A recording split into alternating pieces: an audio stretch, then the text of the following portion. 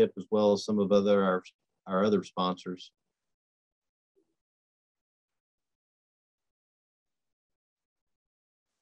Well, now it brings us up to our, our last presentation of the of the evening. Um, I don't know, Dr. Lamb, if you've ever finished up the program on a Friday night before, but uh, we certainly might have saved the best for last. Dr. Cliff Lamb is a professor and head of the Department of Animal Science at Texas A&M University. Dr. Lamb is probably known to most of the people in the program or uh, in the room and has been with the Beef Reproductive Task Force, well, since the beginning over 20 years ago. So uh, he's had numerous awards and recognitions, and we won't have time to go through all of all the things Dr. Lamb has accomplished. But uh, with that, we're really happy to have him on the program talking about a topic that all of us have dealt with, overcoming compliance issues to ensure success of a timed AI project and some of the, I'm sure he has seen plenty of wrecks in his time. So with that, Dr. Lamb, we appreciate you, your time in the program and I'll turn it over to you.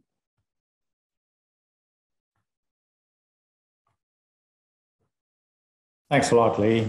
Um, can you see my slides? Yes, yes, we can see it. Okay, well, thanks. And, and I certainly appreciate it. Yes, I, I um, I can't say that I have spoken at 7.15 on a Friday night, so I'm either keeping folks from their weekend or, or from a drink or something like that. But I do appreciate the opportunity to um, chat to everybody and talk a little bit about compliance issues. I also want to, before I really get started, is thank everybody who has spoken and who has attended. Um, uh, the, the topic is very timely, and I think there are a lot of opportunities uh, that, that we can all learn together as we continue to grow the industry and grow, grow uh, the um, adoption of reproductive technologies. So I do appreciate the opportunity to speak. Um, you know, I, have been fortunate enough over, over a period of uh, 25 to 30 years to be able to uh, interact with a lot of livestock producers, a lot of veterinarians and industry folks. And for the most part, I've tried to log a lot of those uh, interactions. And, and so my presentation is basically going to sort of encompass um, a summary of some of the things that I, have encountered over the last 30 years as key points in terms of compliance, sort of focusing on um, productivity or uh, reproductive efficiency in, in AI systems. And so um, I, I, some of the slides that I will have will just be good resources in terms of uh, uh, coming back and using them as resources in the future. And so hopefully you'll be able to access them also uh, if you need them for something in the future. So, you know, the, the one thing that I think we all know is that pregnancy has a, about a four to six times greater economic impact than any other production trait that, that there is out there. And when you take a look at all of the presentations that we have listened to over the last three days, the importance of getting cattle pregnant and getting them pregnant early in the breeding season is paramount to uh, uh, reproductively sound um, beef cattle operation. And so, probably one of the most important benchmarks in any beef cattle operation uh, that you can measure, and, and Vitor just talked a little bit about uh, key performance indicators to me, this would be one of the primary key performance indicators that you can look for is the percentage of cows calving early in the calving season. And when we look at all the, the um, uh, farm business management uh, op, um, groups that have tried to collect data over the, over the last 20 to 30 years, those herds that have a greater percentage of cows calving in the first 30 days of the calving season are the most economically feasible operations out there. And so anything that we can do to, to bunch up the calving season to get a greater percentage of cows calving early in the calving season will have a, an impact on our um, overall bottom line. And obviously, the utilization of estrus synchronization and fixed timed artificial insemination is one of those tools. It's, uh, it isn't just an, uh, an opportunity to, to gain uh, genetic merit from the offspring, but it's a reproductive management tool to stimulate non cycling cows to get them to cycle and become pregnant sooner in the breeding season. And so when you think of uh, the equation of reproduction and coming back to this compliance issue, there's at least four different areas that you know that uh, are part of this equation of reproduction. Obviously, the percentage of females that respond to estrus synchronization is really important, or the efficiency or the ability of the person doing the artificial insemination, the fertility of the herd. I mean, how fertile is that herd in general? And then the fertility of the semen that you actually insert into the cow. And so, if we took all of those and every single one of them was spot on, I mean, uh, we had uh, really uh, 100% of the females responded to estrus synchronization. The AI tech did his job to the best of his ability. Um, the fertility they herd was phenomenal. Everything was cycling and they could all get pregnant. And then the fertility of the semen was perfect. We'd have 100% pregnancy rates. But that just isn't uh, that just isn't feasible, and it's not something that we can do time in and time out. So, let's say we started um, uh, addressing each of those things individually. We have 80% of the females respond to this uh, sync system. The AI tech is about 90% on his game. Uh, the herd uh, fertility is about 80%, and the fertility of the semen is about 90% uh, or 90% viable. You multiply all of those factors together and you get about a 52% pregnancy rate. And that's just an example of how so many factors from a compliance standpoint sort of points towards us ending up with realistic pregnancy rates of somewhere around 50% pregnancy rates because there are so many factors that play into our overall pregnancy rates. So, where do errors in compliance occur? Um, well, I think that one, uh, one thing that often happens is when we get poor pregnancy rates, the first thing that people blame is either the synchronization system, the semen, the, or the artificial insemination technician. But for the most part, one of the really important things is the fertility of the herd. And most of that comes in terms of compliance prior to uh, even synchronizing cattle. So it's being prepared for the timed artificial insemination, having a good herd health program, having a good nutrition program, uh, purchasing semen, um, making sure that your nitrogen tank is working or that you have one that is, is viable. Um, there's compliance issues that occur around the time of estrus synchronization, administering the products at the right time or, or the right type of products at the right time. And then animal handling. And, and uh, Vitor talked a little bit about uh, stress and, and temperament. There's also compliance issues that occur around the time of timed artificial insemination, the AI technique or semen handling. And then there are items that we might do post AI from a compliance standpoint that have an impact on embryo survival after fertilization. And so I'm going to try and touch on uh, different factors in each of these sort of uh, stages from a compliance standpoint. But the thing that I, I think is really important is if you take a, all of the presentations that have uh, come together over the last three days, a lot of those have addressed these in some, some way or another. And my hope is that after this presentation, there might just be one or two things that you might take away from this and say, oh, that, that's something good to know. So let's focus first on before timed artificial insemination.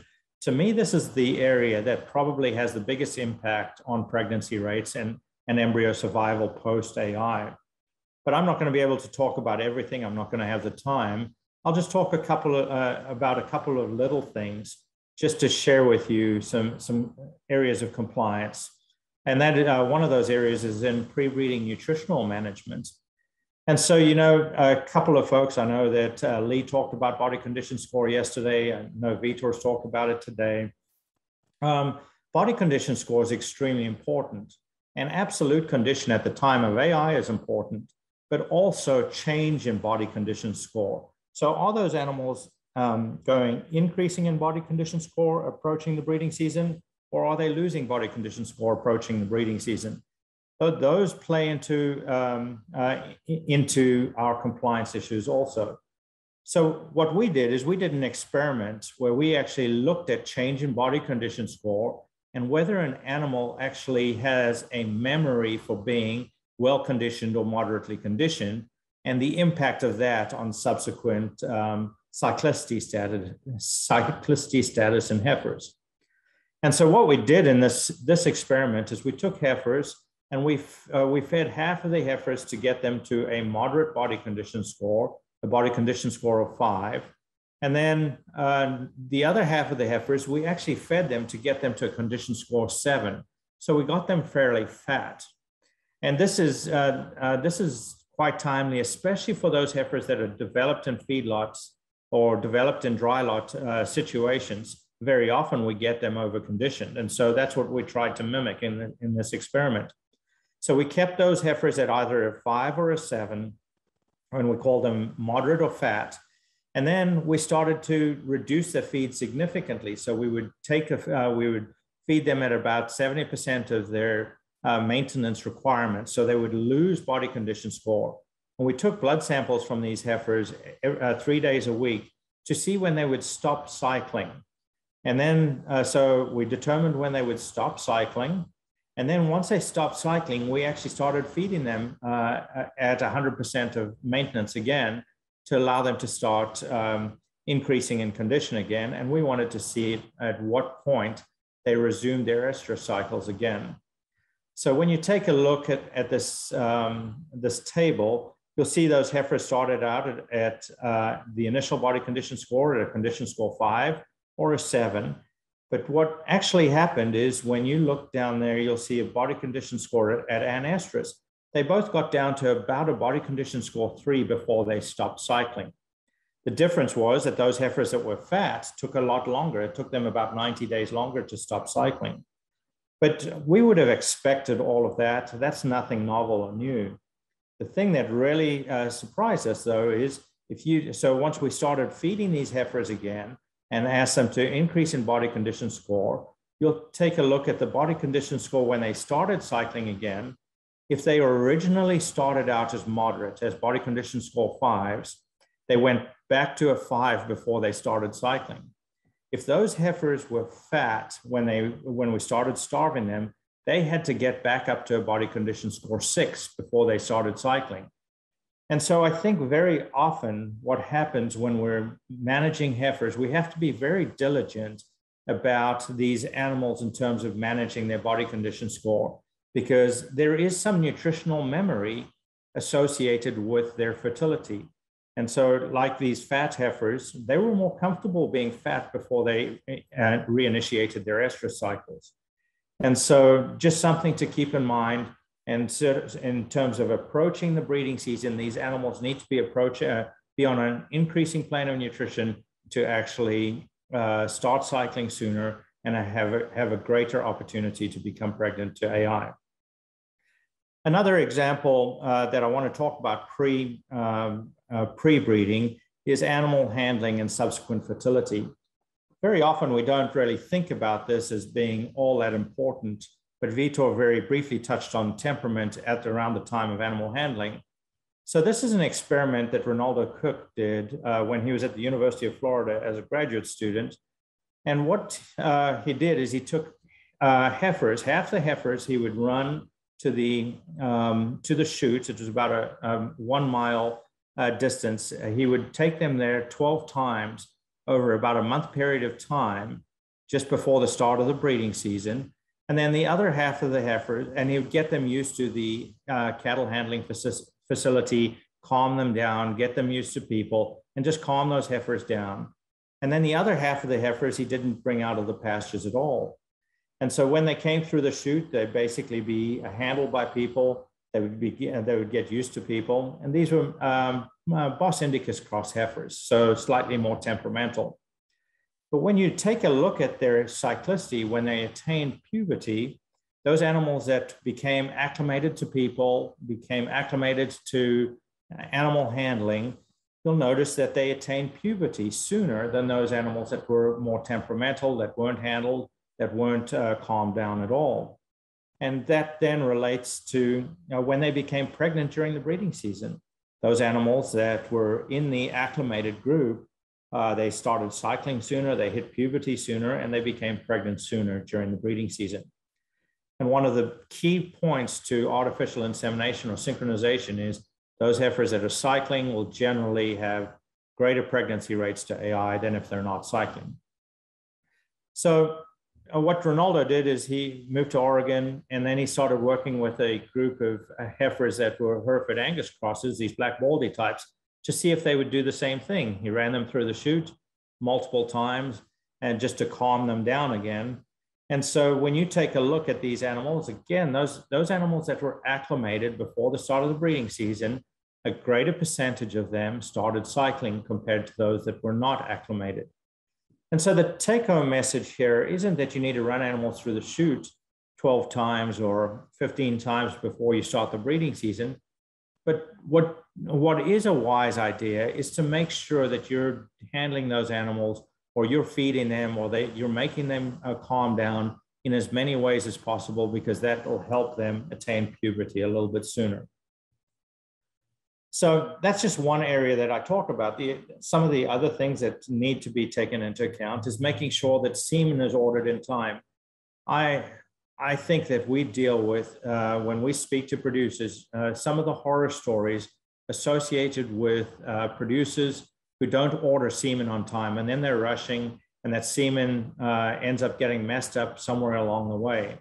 That, that's really important. And then making sure that the nitrogen tank is still working, is holding nitrogen, and, and if it isn't, making sure that a new tank is purchased.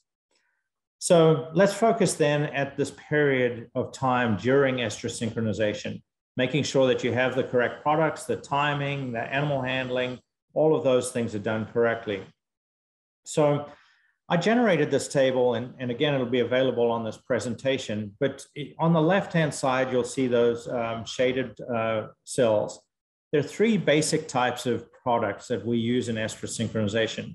One of the progesterone or progestin-like products, then the second one of the prostaglandin or PGF product, products, and then gonadotropin releasing hormone or GnRH products down there at the, at the bottom left. So um, obviously the biological action there is in the, in the second column, and then you'll see the product name. And I think this is where a lot of people get uh, somewhat confused when it comes to administering these products, making sure that the product name is known for what the, what the hormone is or what the action is supposed to be. And then the actual dose, the, obviously, if we take a look at prostaglandin products, there are different doses. So making sure we're utilizing the right dose for the right product. And then the route of administration, I mean, feeding MGA in the feed, um, using obviously using a CIDR uh, as a vaginal implant, but then these other um, uh, products that we actually inject. Um, you can either inject some of them, uh, most of them you, you can inject intramuscularly, but, uh, but a product here like Lutalyse HighCon can be injected subcutaneously. And so just making sure that you, you utilize the, the, the product correctly, utilizing um, one and a half inch needles, uh, 18 gauge uh, um, needles, those types of things are really important from a compliance standpoint. If it says in the muscle, make sure you put it in the muscle.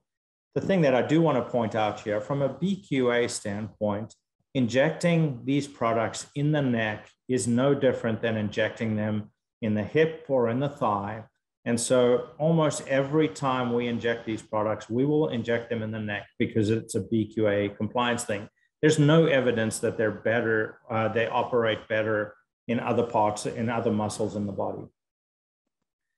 So this table also has then storage instructions and making sure that those products are stored in the right um, uh, temperatures based on uh, the, the label that you can find in the product. So just, just keep an eye on those.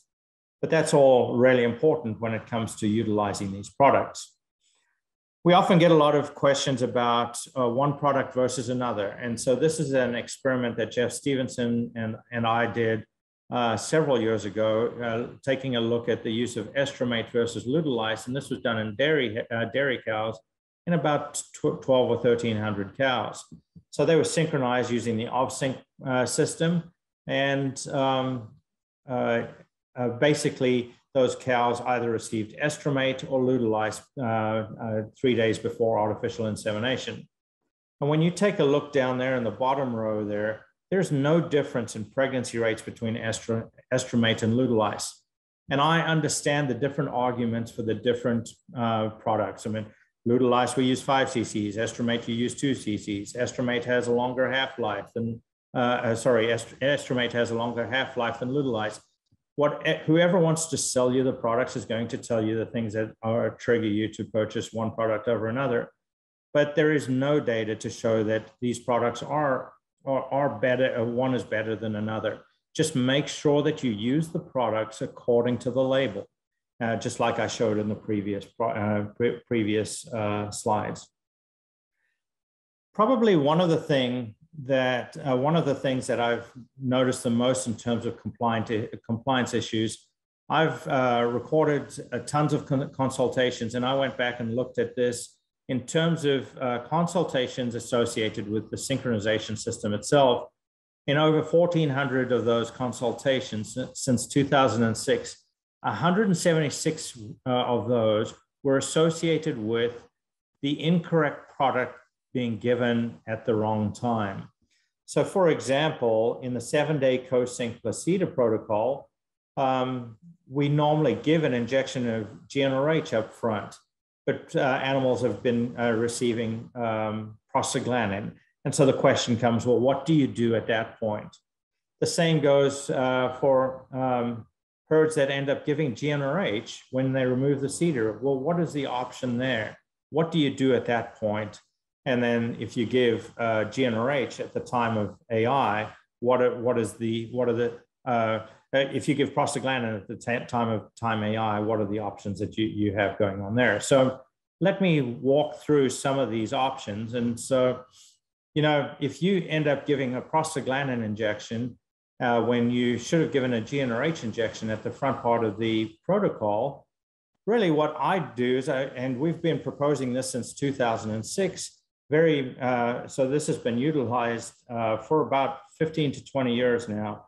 Is that if you happen to give a prostaglandin injection um, when you should have given a GnRH injection up front, you can turn that protocol into that seven and seven protocol, where you actually give an injection of GnRH um, when, when you would have removed the CIDR and essentially start that protocol over. And you have the seven and seven protocol now, which works uh, just as well as the uh, uh, seven day CO-Synch CIDR protocol. And in some cases, it'll work better.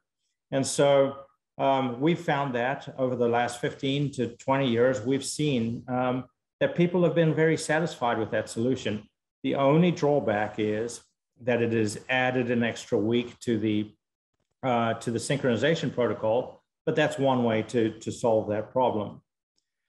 Um, the other issue is what happens if, uh, if uh, prostaglandin or GnRH is given up front, but then a GnRH is given when you remove the CIDR, because at that point you're going to stimulate cows to start to cycle, uh, to, to turn over follicles before your, your timed artificial insemination. And again, what you do then is you just turn that into the seven and seven protocol, leave the CIDR in, and then give prostaglandin seven days after that and time AI and GnRH.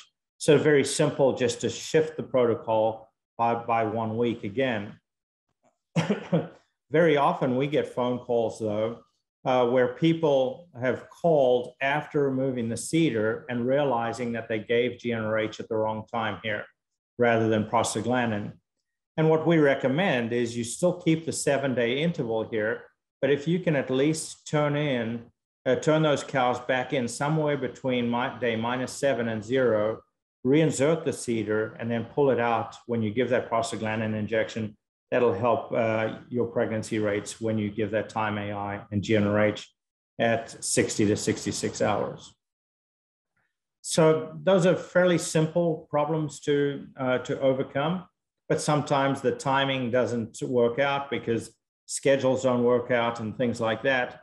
Um, if you do have issues in which timing is going to be an, uh, a concern, I would recommend then that you simply email members of the reproduction task force and allow them to try and help you understand uh, where and try and help you understand how to fix some of those problems you know, there's been a lot of discussion about uh, used CIDRs and whether you can reuse CIDRs and things like that.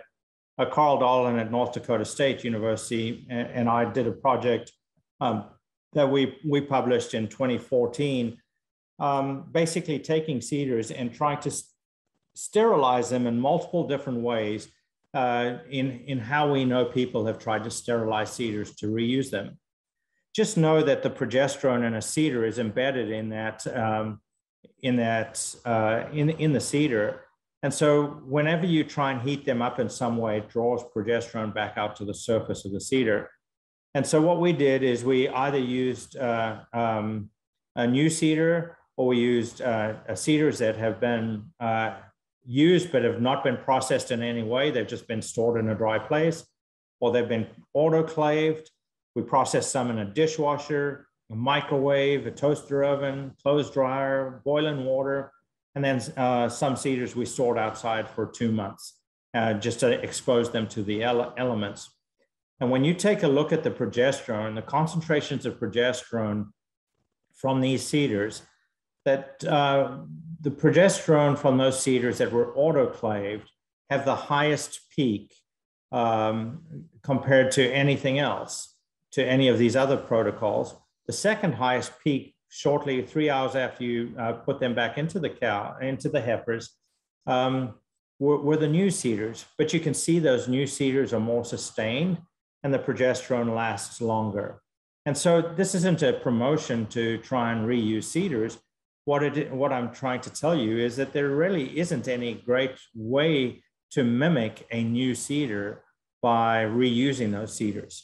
Certainly autoclaving is going to sterilize them and some of the other heat sterilization is going to um, uh, sterilize them in some way, but the progesterone, the concentrations of progesterone in any of those um, methods of sterilization um, don't have the same progesterone profile. And what's worse is for those folks who, who choose not to do anything with those CIDRs and leave them outside uh, for 60 days before reusing them. You'll notice that the progesterone is significantly lower in those. And so take home message here is that, you know, you cannot mimic a new CIDR. Um, and so um, the cost of pregnancy is so much more valuable than the actual uh, cost of a CIDR or reusing a CIDR to, to the whole equation of what that's going to cost you in the end. That I recommend that most people utilize a, a new CIDR every time because, uh, because that's not going to have a massive impact on the cost of pregnancy in the end. So let me focus then on um, around the time of artificial insemination, things that need to be focused on there. Obviously, it's the AI technique is the most critical thing and semen handling. Those are the two things that really have to be taken into account at that point. I, I put this in this slide in here just in terms of preparation for AI, making sure that you have everything the day that you go out there to artificially inseminate.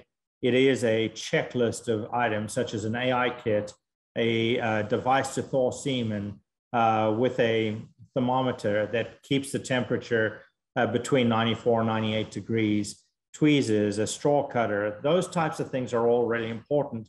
And I put the slide here to serve as a checklist to make sure that those are all available and ready. Um, from a semen handling standpoint, it's really important to make sure that um, when you're uh, uh, when you um, uncap the, the liquid nitrogen container or the, um, that you um, make sure that you're not getting as much nitrogen to evaporate as possible. So to do it smoothly and slowly, um, basically uh, lift the handle of the uh, um, canister ring, bring it up, but only bring it up um, so that the semen isn't exposed or the, the semen straws are not exposed out. And in my next slide, I'll show you why that's important. Um, the really important thing though is if you if you cannot see on the top of the label of the semen, you cannot see the semen that you need, need within the first 10 to 15 seconds, dip it back down into the nitrogen and then bring it back up again. Because if, if you put the semen back in and it bubbles, you know that you have hold that you've held that semen up too long. Make sure it just uh, goes in without bubbling, and uh, and th that's just a good rule of thumb. And then when you go to remove the semen, make sure that you're reaching into the neck of the, the um, liquid nitrogen tank. Uh, just be very sure that you're doing that rather than bringing the semen up beyond the actual neck of the semen tank. So this is a picture um, from Dick Saacke showing the temperature gradient in a semen tank from the top down to about six inches into the semen tank. And somewhere around minus 110 degrees Fahrenheit is where sperm um, actually uh, suffers injury. If the temperature rate rises above minus 110, you're going to actually have some uh, damage to the sperm, and that cannot be reversed. So you'll notice that somewhere around three inches is as high as you ever want to bring that semen up before you take the semen out to load it into a gun. In terms of preparing the AI syringe, just make sure that you um, uh, remove the straw from the water bath and verify that you have the correct sire. I mean, there's so many times, whether it's embryo transfer or artificial insemination, animals are bred to the wrong bull. And this is the time at which you can make sure that the correct bull is actually uh, being used to inseminate your female. Make sure you dry the semen straw off, cut the straw and seat it into the adapter.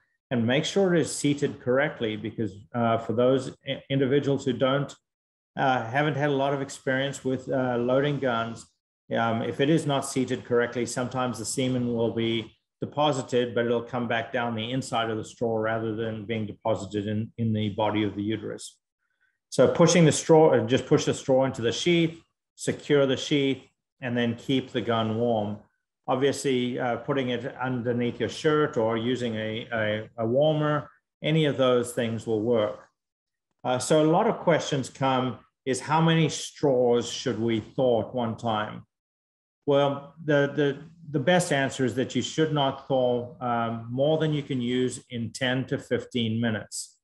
And so, you know, in some operations, um, I was listening to Randall talk earlier. I mean, you can AI um, an animal every 30 seconds if the facilities are great.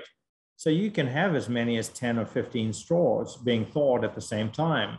But in some operations that we've worked in, what often happens is uh, it takes about five to 10 minutes to get a new female into the chute. Well, in that case, you're only going to be uh, thawing one or two straws at a time. So know your comfort zone, know what you can do within the facilities and the people that are working with you and your cows in that facility. Uh, when the uh, straws are thawing, don't allow them to touch each other. Make sure that they're separated so that they can get a uniform thaw in the water bath. And one thing that we utilize in large projects is we use multiple thaw baths so that we can continue to uh, keep track of how long the semen is, is being thawed in those thaw baths. Things that are really critical is time. Uh, so making sure you're only thawing um, uh, semen that you can use in the uh, first 10 to, uh, in less than 10 to 15 minutes. Temperature, making sure that that semen is being thawed at 94 to 98 degrees Celsius. Hygiene, uh, things like water, uh, blood, manure, all of those things are detrimental to sperm survival. So keep the hygiene good and then making sure that you have the skill set. And if you, if those things are good, in general, the uh, artificial insemination, the process of artificial insemination, is not going to be the reason that you get poor results. So let me quickly cover some of the things that we talk about in terms of after AI, in terms of uh, embryo survival, making sure that we get good pregnancy rates. And you know, I think Ky talked a little bit about this. Ky Pohler talked about this last night in terms of uh, embryo survival. In most cases, if a cow has ovulated and we insert semen into a cow using conventional semen, about 95% of the cows will result in a fertilization. So somewhere between 95 and 100% of the cows will be pregnant uh, within a day of artificial insemination at that point. So it's not the fact that we are not necessarily getting cows pregnant. It's are we getting those embryos to survive? And the embryos, uh, they die for multiple different reasons. And so what can we do to reduce the incidence of embryo death so that we get better pregnancy rates to timed artificial insemination? So obviously animal handling, stress, nutrition, transport, those are all things that play a role. So um, I'm, I'm just going to quickly go through this. When you think about survival of the embryos, you'll notice here this table. Um, so when a cow comes into estrus on day zero, she's receptive to a bull. Uh, we'll usually AI 12 to 16 hours later um, or, or fixed timed AI at a set time. And what we're trying to do is we're trying to have that semen capacitate and be available to um, ovulate an oocyte when that cow ovulates at around uh, one day after she's in estrus. The period of time from there to about day seven is when the embryo is the most stable. And so this is the period of time, if you're going to stress those animals out in any way, such as transporting them, moving them away, um, whatever it is, if you're going to stress them out, that's very likely when the embryo is going to uh, survive the best. Beyond that, so from around day seven or eight until at least day 28, but uh, we say as long as until day 42, um, anything that you do to stress these animals out, things that they're not used to doing, um, may have a negative impact on embryo survival. And so um, we recommend doing most of those things in terms of moving them from pasture to pasture or taking them to different locations. Do that within the first week of AI. So there are lots of things that have an impact on embryo survival. I mean, heat stress is something, genetic factors. I, I know Ky touched on the uh, asynchrony between the embryo and the maternal environment last night, the effect of the sire nutrition is one thing that producers can uh, can have an impact on making sure those animals are in an increasing plane of nutrition approaching the breeding season will have a positive impact on embryo survival. And then we talked about handling and shipping stress. So that uh, brings me to the end of the presentation. Um, I hope that uh, I've sort of tried to tie things together over all of the presentations that have been uh, discussed over the last three days. Um, here is my email address. If, ever, if anyone ever has questions, they're welcome to contact me. Um, and I'll turn it back over to you, Lee.